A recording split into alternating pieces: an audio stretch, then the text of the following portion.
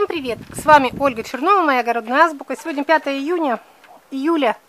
И вот я сегодня показывала утром вот те томаты, которые уже доросли до потолка, которых нужно обрезать. Но таких томатов много. И вот, к сожалению, у меня все Казанова пытается прилечь. Вчера пришла, Фу, Казанова завалился. Сломал вот эту палку.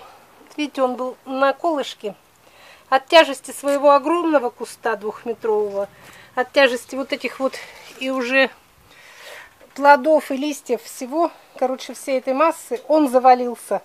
Вот точно так же лежал. Я пришла, думаю, ну что делать? Поднимать. Подняла, вставила еще один колышек, укрепила, завязала. Сегодня прихожу, опять лежачий Казанова. Вот так во всю теплицу, во всю с одного угла на другой. А я пришла мурашам раскладывать, я же вам показывала. Вот лежит.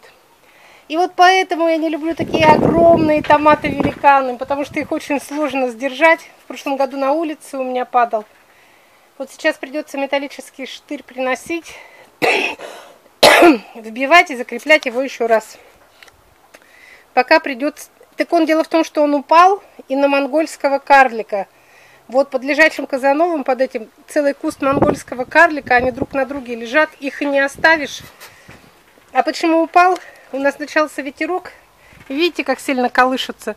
И, видать, как дунуло, а он же здоровый, масса большая, и уже много этих плодиков. И он как хрясь и весь завалился.